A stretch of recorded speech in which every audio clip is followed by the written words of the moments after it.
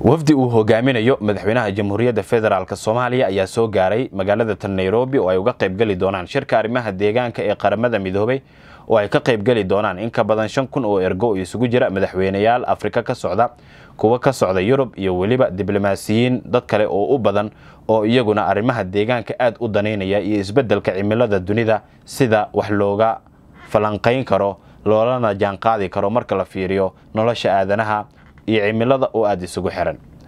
Haddaba madaxweynaha jamhuuriyadda federaalk soomaaliya inta halkan uu ku sugan yahay waxaa la filayaa in kulamo doceedyo uu la qaato qaybaha kala duwan ee waddamada muhiimka u ah soomaaliya uuna kala hadlo xaaladda soomaaliya xilligan ka jirta iyo waxyaabaha soomaaliya wadamadaasi uga xiran. Madaxweynaha soomaaliya ayaa mar kale waxay isku arkayaan shirkan ra'iisul wasaaraha etoobiya abiy axmed iyadoo labada hogaamiye xurguf xoogan ay ka dhexayso xilli etoobiya kowdii janaayo wixii ka dambeeyey ay dadaal badan ku bixinaysay inay qayb ka qaadato badda soomaaliyeed. Kadib markii madaxweynaha somalilan muuse bixi cabdi uu heshiis caalamka ka yaabiyey la galay ra'iisul wasaaraha etoobiya kaa oo dhigaya in dhulbadeed labaatan kilomitir la eg. La siiyo etoobiya ciidamadeeda mariniskan ay soo gashato islamarkaana loogu bedelo somalilan aqoonsi.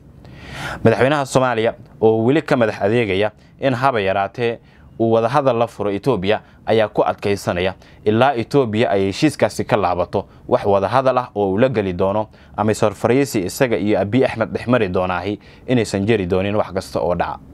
Wixii ku soo kordha muuqaaladeena dambe ayaan kuugu soo gudbin doonaa waana kaaga mahad celinayaa daawashada muuqaalkan mahadsanid. Wiilkaygiiow hee? ii soo tiri isbitaallada magaalada ku yaalla soomaali sudaneys. Kow bes allaahu akbar. War meeqaa tabeelaan laamiyada ku arkaayay aabba matayaad rabtaa mise tabeelle? Tayo allay leh haba u labayn soomaali sudaneys. Soomaali sudanes hosbital s s h. Bremier woled baahitiraha bulshada ku bixi biilka ku dukaamayso ku iibso ama kaga iibso. Bremier woled adeega adeega